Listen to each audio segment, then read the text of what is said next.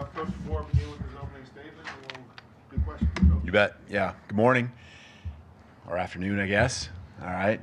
Uh, appreciate you all being here, and uh, it was a good weekend for us. Uh, everything's a first, right? Uh, going on the road was our first time together uh, with our staff, and thought the guys did a nice job. I was happy, obviously, with the outcome, but also just the process and, and everything leading up to it, and how the how the weekend went. So, I thought they had a great balance of high energy, uh, passion, emotion, uh, but not all not being over emotional and uh, having a business like mindset and going and just knowing that uh, it was going to be you versus uh, you know a great great crowd there and uh, thought we did a nice job you know just staying the course and made the plays got the momentum on our side uh, especially there in the second quarter the end of the half especially was was a was a big deal you know and I preach to the guys keep playing uh, keep believing and uh, things will come your way we're athletic enough. We got playmakers, and that's exactly what happened. Getting the stop, getting the field goal attempt, and uh, flipping that around in 36 seconds or whatever it was, and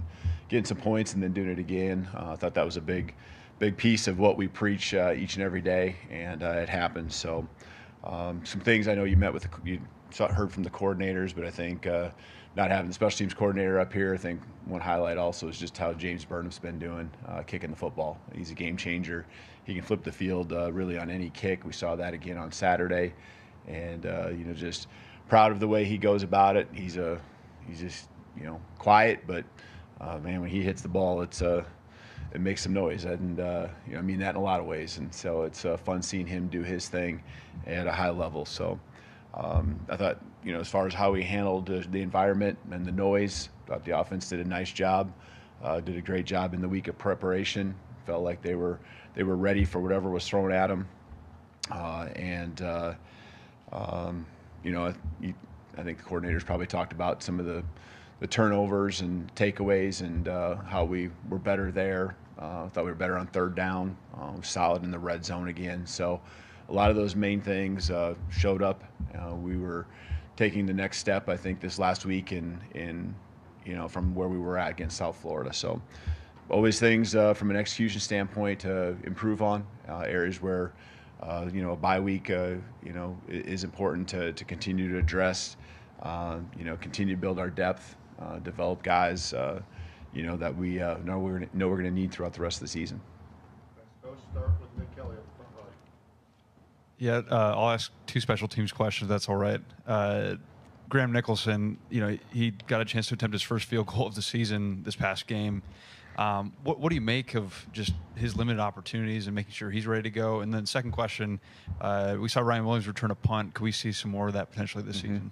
Yeah, uh, with Graham, uh, yeah, he just we've been scoring when we get in the red zone, uh, getting the touchdowns. We haven't been in too many spots uh, until Saturday where we had the the field goal, 46 ish, I think, 47 somewhere in there.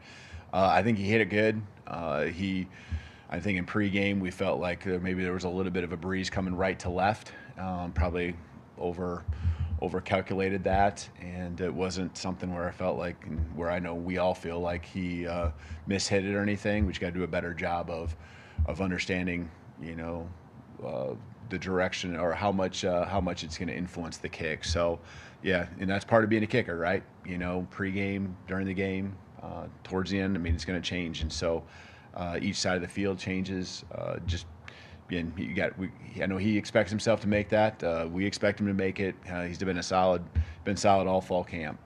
Uh, in regards to Ryan, with uh, with the injury to Cole Adams, that uh, you know was one guy taken off of that uh, area, you know, uh, and, and our depth, and so Bach's been back there doing a good job uh, with his opportunities, and we need to continue to build that. And just getting getting Ryan one rep out there, I thought was good. Uh, he did a nice job. Uh, looked very comfortable back there. Um, there's some other guys, you know, Germ, Germie Bernard could do that as well. He's been working on it not just this year but in the past, and so we just want to make sure guys uh, continue to get that one rep, feel comfortable. Um, and there's always little things that pop up that guys can learn from, and, and there were some learning opportunities even with Bach. You know, just staying away from the football uh, on one of the punts that were roll, was rolling. Uh, we got to do a better job there, staying away. So uh, everything is again new experience, especially for some of these younger guys, freshmen like Ryan and uh, Bach. uh, but they've done a really nice job so far. Right side with Charlie. Yeah, hey coach, did, did you have any reaction or say anything to guys like Germie or any of the other players for what they said after the game about jump arounds?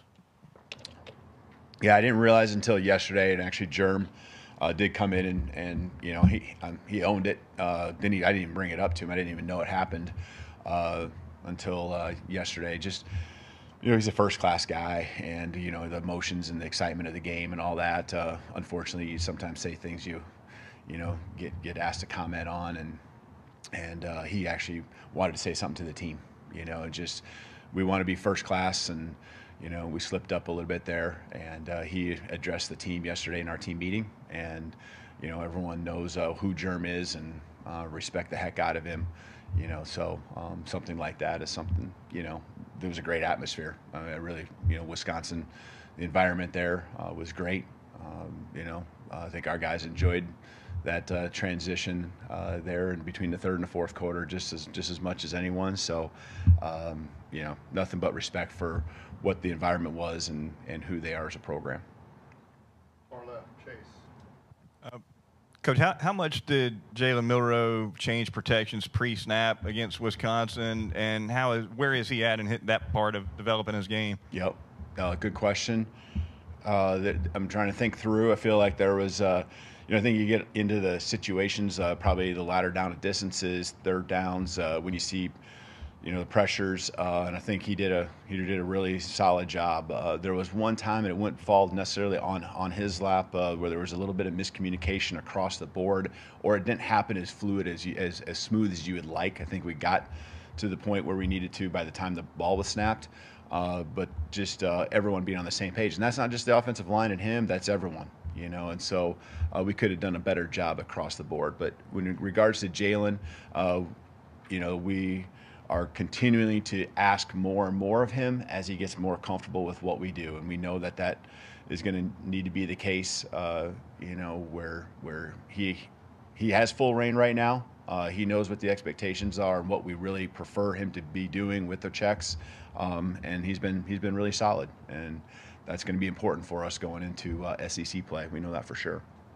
Got the middle of the room here, Mike. How have you seen Justice uh, contribute to the offense even in games where he's not getting a ton of carries like this one? Who? Oh, Justice Haynes. Yeah, yeah. Um, you know, right off the bat, you know, getting him the ball. Uh, he can do a lot of things. You know, catching the ball. Uh, you know, ran ran through a tackle right off the right off the bat, set the tone there. Uh, just uh, some of the carries where he'd have been involved uh, ended up being throws, RPO plays, run, you know, keeps by the quarterback. Uh, and so all of a sudden you get to the middle of the third quarter and you hit another explosive there at the beginning of the fourth, and uh, we're pulling all our guys. And you know, I know we need him to be in a, in really a, a, very productive guy for us. And I thought when he was out there, he was exactly that. We trust and believe in him like no other. Um, the guy works his tail off every single day. Uh, he's he's fun to coach. Uh, he's great in protection. He's out in the routes. Uh, he's obviously a, a, a, huge threat when he's got the ball in his hands. And so, uh, you know, just sometimes the flow of the game and the rotation we have. Uh, the ball didn't end up in his hands as much, but the ball will continue to find him because I know Jalen believes in him. Uh, our coaching staff believes in him, and so um, you know, you try to be intentional on some of that stuff. And sometimes it just doesn't go exactly how you planned as far as who gets the touches um, and so forth. Left side, front row, Tony. You have a great ma- uh, record in these marquee kind of matchups, and you got one coming up. Just how would you, what would you attribute to the to your success in these kind of games, and then how do you approach it with kind of a two week uh, window right now? Yeah, I mean, great players, great coaching staff uh, around you is always what makes it all go. Um, people who are comfortable, you know, going, being alongside with you uh, in these big games and these big, um, you know, getting SEC play. They're all they're all going to be big, and so. Uh, you know, the players make plays, and it's it's our job to just continue to put them in the best spot, help them continue to gain confidence, uh, you know, remind them that the preparation is what's going to lead to their success, and uh, you know, just a belief, a belief in what we do, how we do it. Uh, that's that's to me football. Um, that's you know um, how you're successful in anything, and so uh, that's that's what we'll do here with the bye week.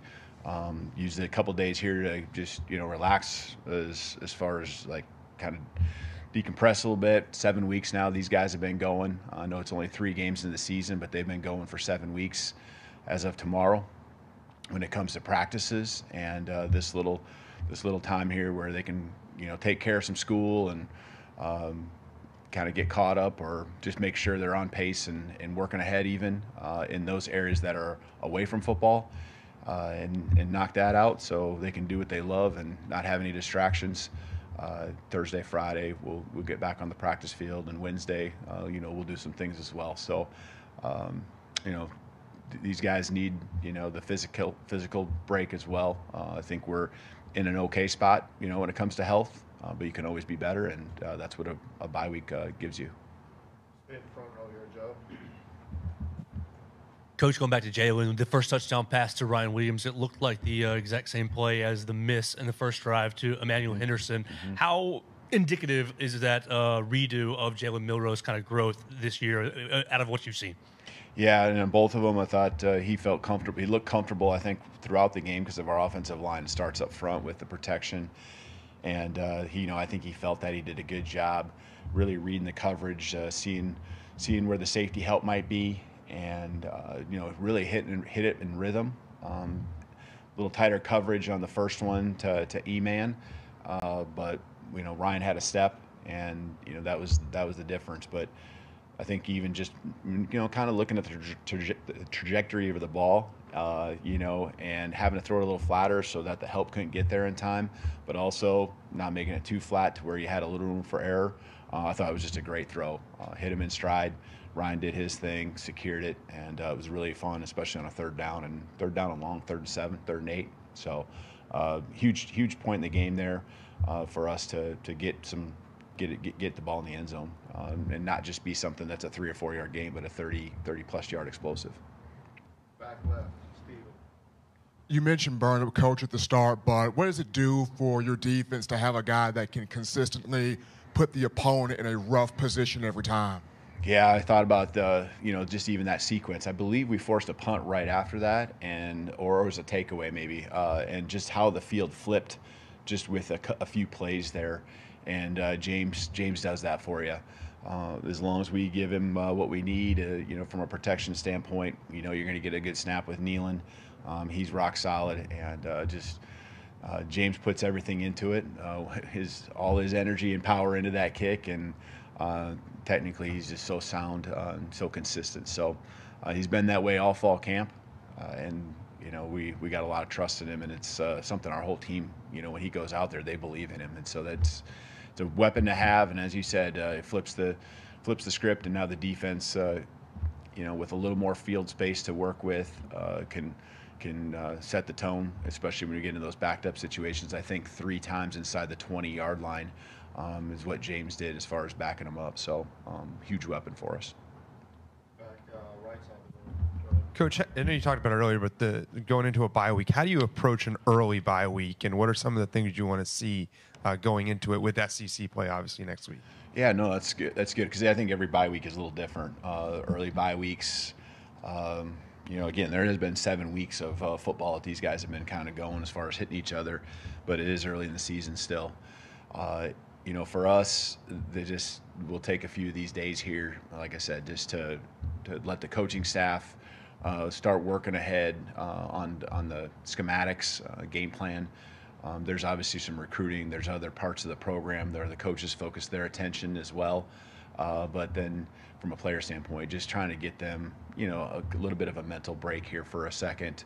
Um, it's only a couple days, but uh, let them be students here for a few days as well. Just uh, not just the athletic part. So, um, you know, later on, uh, you kind of kind of adapt, uh, even not just uh, when you practice, but how long you practice. Um, but we'll have some really good, solid practices here at the latter part of the week, Thursday, Friday, Sunday. Um, gives us a jump on uh, the next next game with Georgia. Emily Grace, right in the middle there. Coach, you touched on it in your open about the decision to be so aggressive in the last 36 seconds of the first half. Can you elaborate more on that and what you and Coach Sheridan saw that led to that decision? Uh, we had, you know, 36 seconds. Uh, you got you got a field goal kicker you believe in, um, and uh, I think three timeouts, if I remember right. So you got a lot working for you. Uh, we get any type of gain at all, you know, and we're in bounce. You know, we're gonna use the time out there and, and see if we can get a first down or two. And and the guys just went out and made a play.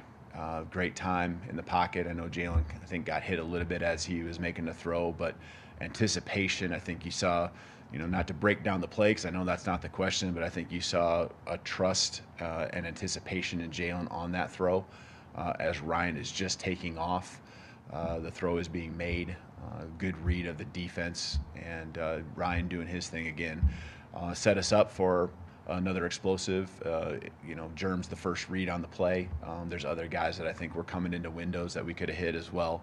But uh, it all started with protection on both those plays. And when you have confidence in the guys up front and protect your quarterback and a quarterback that's going to make smart decisions, uh, and at, you know, we've been I've been over coaching those probably early on with Jalen to take care of it in this situation or that. Uh, and uh, you know, the more and more, it's just these little small little blurps that I now I'm giving him, and he's on the same page. And so that's part of the progression of us working together more and more. Uh, the progression of now you take that to the film room and talk about why we were aggressive in that moment. Uh, and then seeing it pay off, uh, it just gives your team a lot of confidence because the defense knows that anytime, you know, if we just give the ball to the offense, whether it's off a takeaway and we have red zone, you know, uh, or two minute, two minute drill, uh, just a lot of confidence that goes back and forth and playing good team football.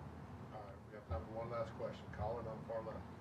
Hey, Kalen, two two parter if I could. Uh, first, you mentioned the pause. Um, you know, allow. Uh, I'm I'm curious with this bye week, um, how you've seen Ryan Williams kind of respond to what he's been able to do across these seven weeks for you go, for you guys, and kind of how he should reflect and, and kind of move forward um, as SEC, SEC play uh, starts out soon. Uh, and then, uh, do you have uh, updates on the status of Qua Russaw, Malachi Moore, and then um, uh, Richard Young?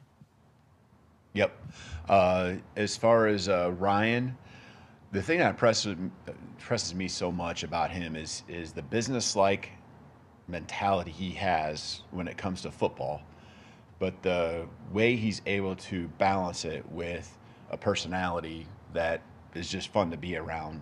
Um, loose when you have that time to be loose.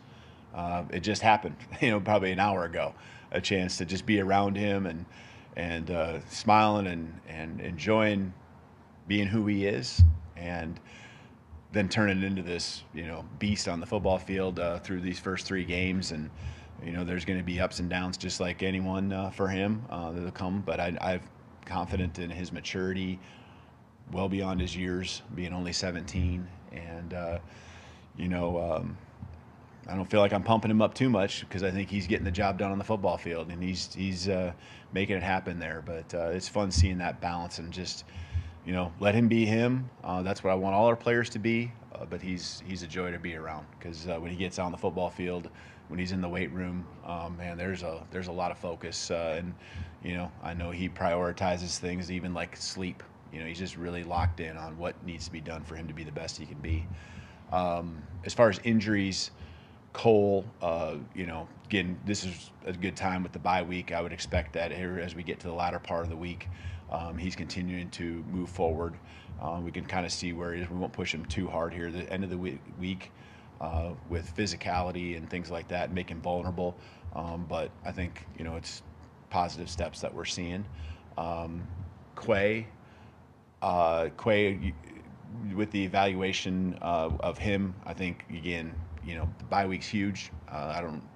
I think he probably later in the week will, you know, be able to do some things for us, and we'll certainly be careful with him. We don't want to have any setbacks, uh, but I would feel like it's, um, you know, a positive, positive um, progression for him already here just in the last couple days. And uh, who's the third one? Ma- oh, yeah, four of them. Uh, Malachi, uh, got obviously uh, hit, uh, hit to the head, blow to the head. Um, he popped up and ran off the field, uh, but I also know that there's a protocol we got to go through. And so um, a lot of positive signs there with him already here for these first couple days. And again, we just got to go through that uh, that progression that uh, needs to be done when it comes to those type of injuries. Uh, and Richard, you know, I'm not sure on Richard a little bit. I think his, uh, you know, kind of got to continue to evaluate here and uh, can probably have some follow up here maybe in towards the end of the week. All right, thank you. Awesome. Thank you. Real tight.